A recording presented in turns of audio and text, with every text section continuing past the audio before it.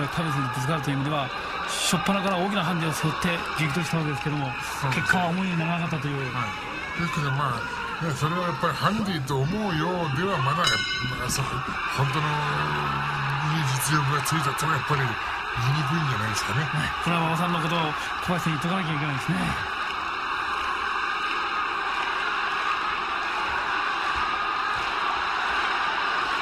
いつもあのタッグを組んでやっているんですけども、まあ、一応、まあ、先輩で後輩に当たるわけですけど小林選手の急成長ぶりがあの刻刻刻とあの三沢選手、川選手を追い詰めているという状態でなかなか緊張感がありますね。そうですね、はい、やっぱり三沢にしても川田にしても迫ってきてるというすぐそこに迫っているということはもう痛感していると思いますよね。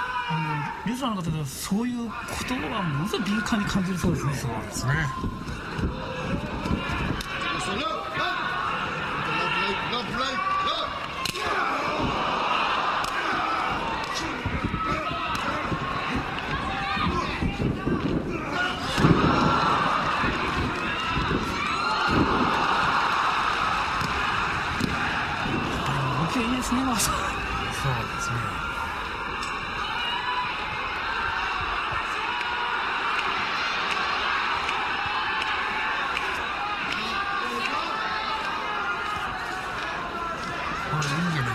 はい。気合充実という感じで。そうですね。はい。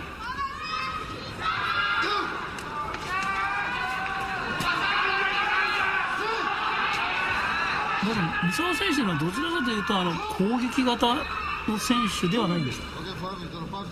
まず受けて立つというか。あのやっぱり土管のチャンピオンをずいぶん長いこと経験しましたから、はい、やっぱ相手を見つめるということに慣れてきてると思うんですね。そういう点で自分から進んでいくという、進んで最初から攻めに行くということは、やっぱり、ないというか、ないんじゃないですかね。はい、様子を見るという癖がついてるんじゃないですかね。はい皆さんがインターあの人の選手権取った時になんかあのチャンピオンの側としてあの横綱相撲というような意識はあるんですか？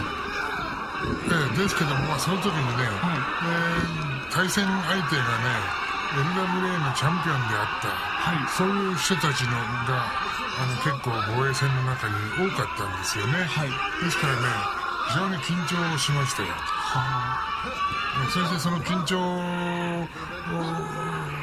の中に、えー、ボボブラジルとか、はい、フリッツボンエリックとかそういう人たちがその混じって入ってきますからね、えー、やっぱりエリックにも負けましたし、えー、ボボブラジルにも負けましたし、そういう点ではあのこの2人は MWA のチャンピオンではなかったんですけども、強敵でしたね。エリックとブラジル良かったですね。僕好きですよものすごく。この富樫なんかやっぱりこうやって自分で攻め込んでいくということは三沢に対して攻め込んでいく立派ですよ。はいこれはやっぱり勝負もう30分勝負ですからね、はい、その攻めに行って勝ちに行かなきゃいけないですから、小橋の若さが出てて非常にいいですね。あの積極的な攻めを展開しますね。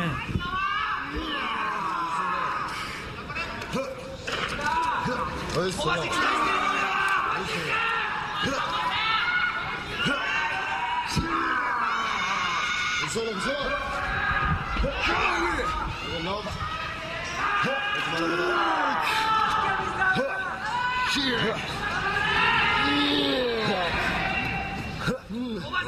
から来たもので馬場さんこの前にいる大きくはばかる壁を越えていくというのはプロレスラーにとって至難の技みたいですね。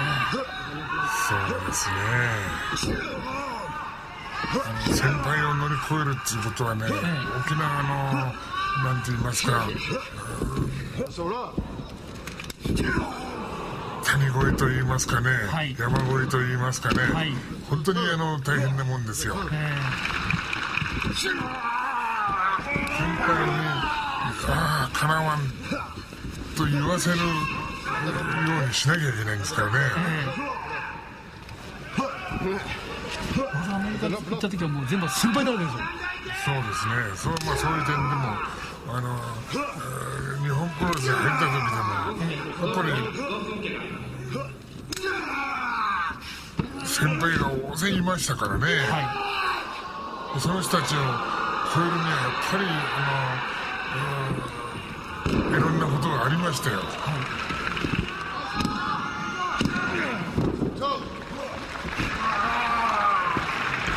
そのもちろん。生活の面は別ですよ、ええ、リングの中入ったらもう先輩は後輩そんな意識は持たないというとこまでこいつにはかなわないというものを示さなきゃいけないですからね。そうい。う意味では小橋がそのそれに迫りつつあるんですね三沢田上川田にねそうですね気持ちいい若者ですよね、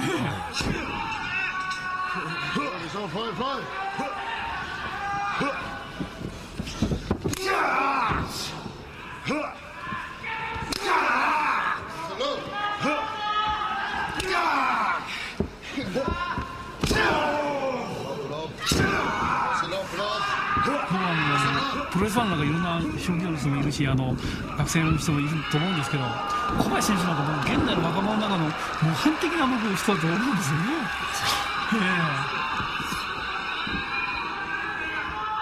模範になりうるというかもうこのすごい生き方は。ですからこのねえー、その今の気持ちを忘れないでね頑張っていけばね、はい、この人のここの選手の道はね本当に開けますよ、はい、間違いなく開けます。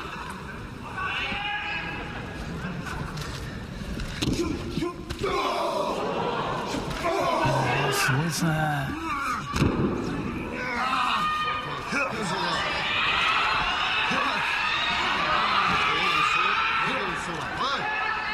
選手はあの感情を表に出さないタイプなんですけどもやることはきついですねそういうそれだけやっぱり芯が強いんですよね。芯が強いですね。男が黙って勝負するというタイプですね。そうですね。その方が僕はいいと思いますがねあの口だけ達者にならないで。はい。ねまあ全日本プロレスの、えーいいところの部分っていうのはそこも一つのいいところじゃないかと僕は思うんですね。馬場さんいつもよく言われてるんですけどあの口で勝負しないということですね、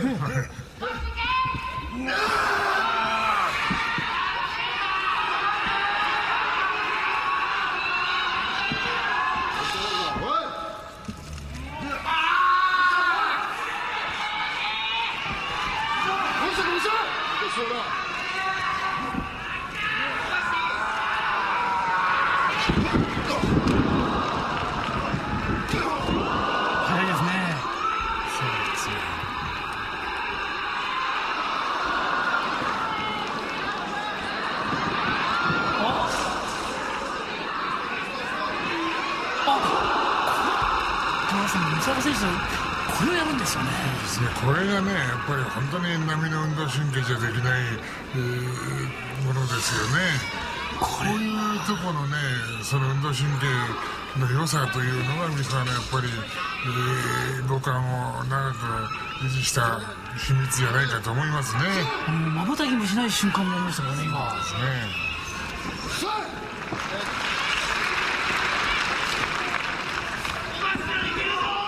小島さん、あの、オーソドックスな正統派のテクニシャン、試合というのはやっぱりプロレスの王道ですねこれはそうですね。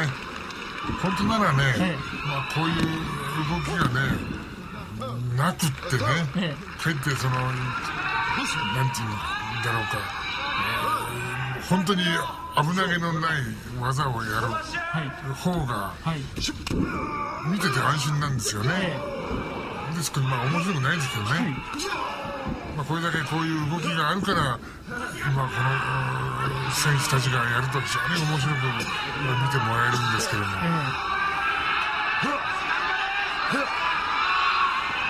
馬場さんの名称みたいな形で札幌かなんかのパットコーナーとやった時のあの地味なんですけどああいう試合みたいなの昔はあったんですよね。そうですね。ですから昔はこんなにあのいっぱい技がなかった頃ですから、ええ、それはそれで良かったと思うんですけどですから昔のものを見て自分がこう考えるとちょっと今のプロレスを見てちょっと恥ずかしいなというそうですか。自分の気持ちはしますよね。馬場さん岡野となんかやりづらそうにやってましたね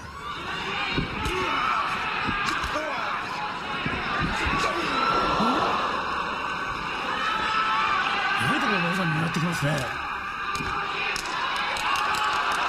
泣いてますよ本当に。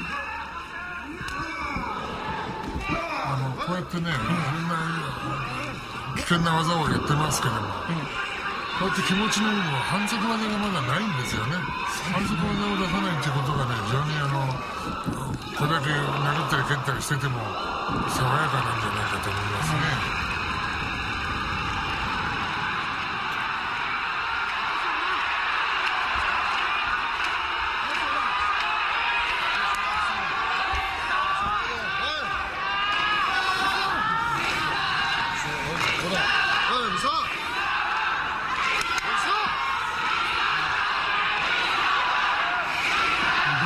っていってる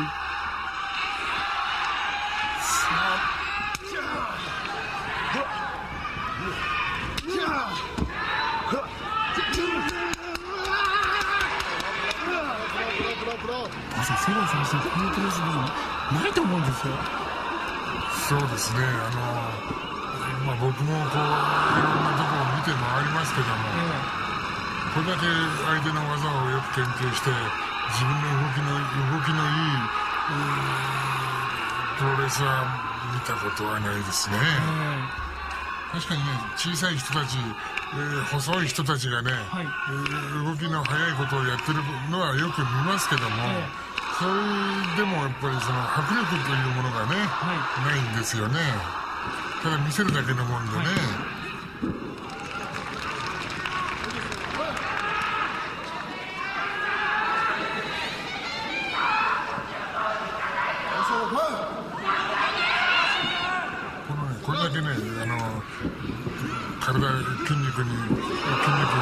してきたらね、はい、そんな動きができないんですよね、はい、そこをこの人たちがよくやるということがね魅力じゃないですかね。魅力ですね、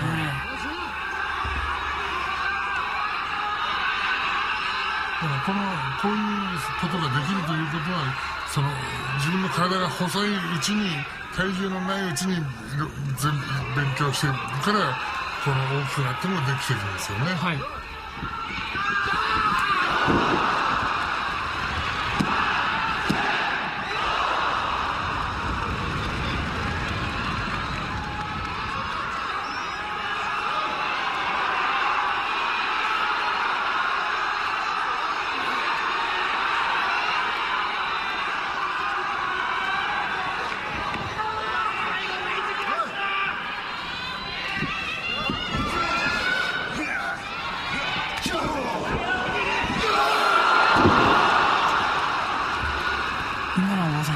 っていうか、最後のところで。ですから、こうやって相手が受け身を取れないように、取れないようにというふうに工夫をしていかなきゃいけないわけですよね。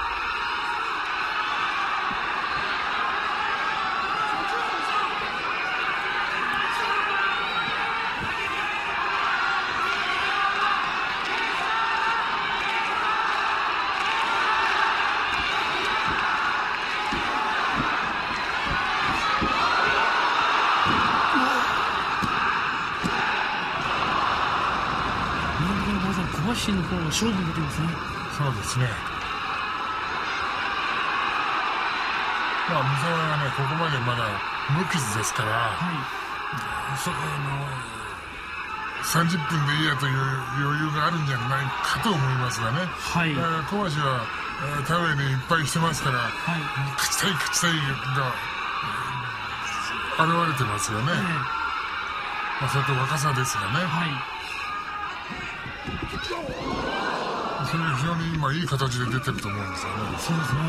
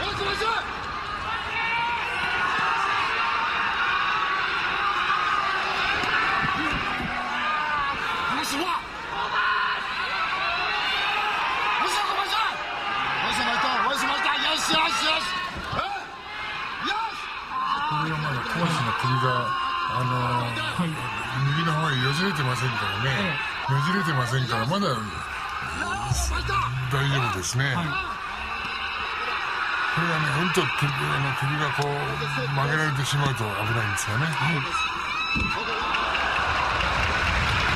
Up, up, up, up. Look it up. 嘘だ、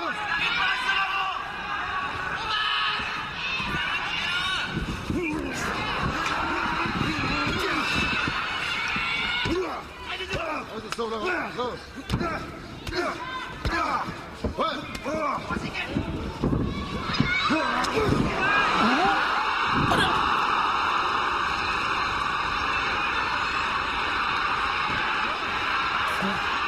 ここでね、小橋がすぐその抑えに行かなきゃい。けない。んです。皆さん、あのとっさに出るもんなんですかね、今のも。い。や出ることがやっぱり素晴らしい。選手ですね。はい。バカさん、今の脅し方もちょっと違ってましたよ。そうですね。何か工夫してればね、その効果ありますよ。はい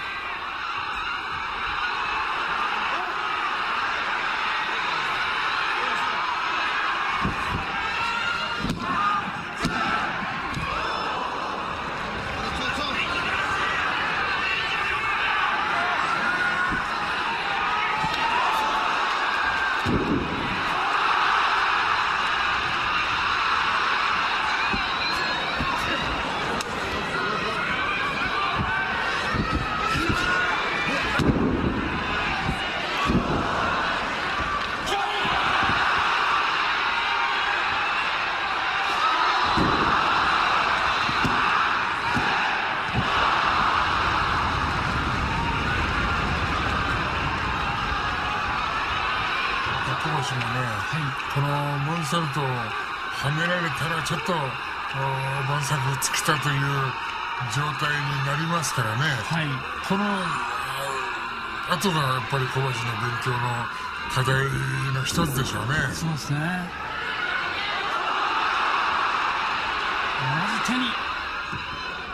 ないですね、やっぱり。そうですね。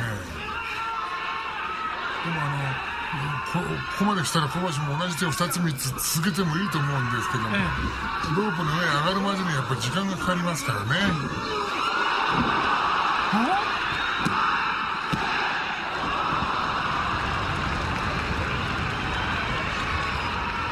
そうですね。これでやっぱり小橋がこれで起き上がっていかなきゃいけないですよね。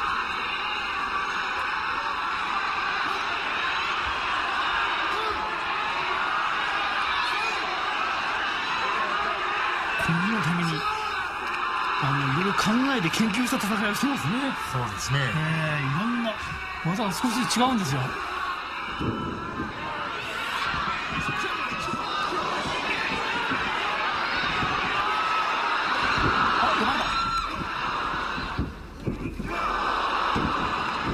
あー、三沢選手も。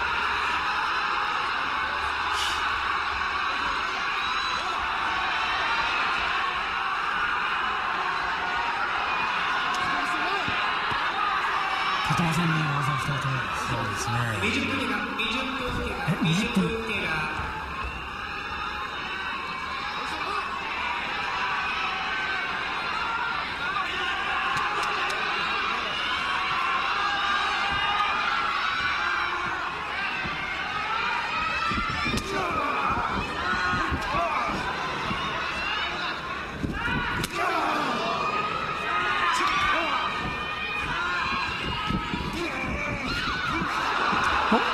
そう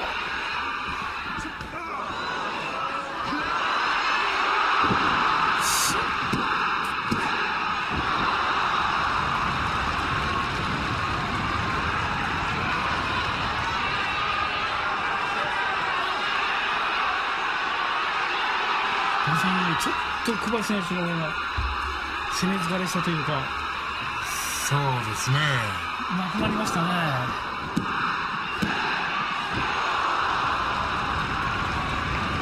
20分過ぎてさあこれから残るあと10分。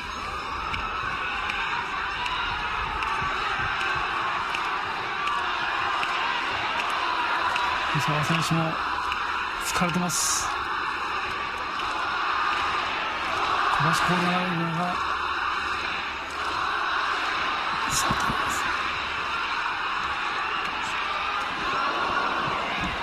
そう捉えた。あ